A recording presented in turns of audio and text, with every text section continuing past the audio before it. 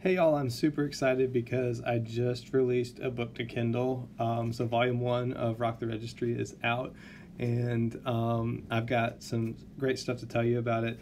Uh, but again, uh, if you haven't already, go ahead and uh, like and subscribe these videos. I'm going to look at just a couple of questions that I've included in the textbook and stick around till the end. It's a short video, but there's some free stuff. So I just want to spend some time thinking critically about the questions that I've got here in the textbook. This first one looks at what protective equipment must be employed when examining a patient with active tuberculosis? And the answer is an N95 mask.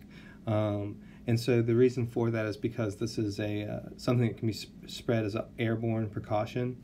Um, so surgical mask isn't going to cut it. We're not so worried about eye shield because it's not so much a droplet thing. And the surgical cap, again, is not going to do much in terms of preventing this stuff from entering our airstream. So N95 mask.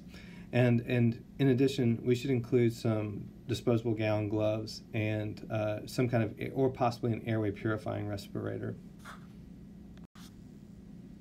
This next question is asking, when evaluating the primary X-ray beam, which of the following statements best describes the result of any interaction that increases photon wavelength? And the answers are increased velocity, decreased filtration, increased quality, or decreased frequency.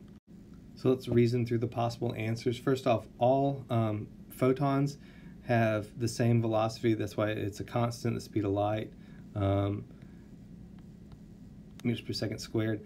Um, decreased filtration doesn't necessarily tell us anything about a photon wavelength.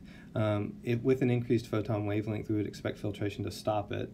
So uh, decreased filtration would actually increase um, the amount of photons that have an increased wavelength.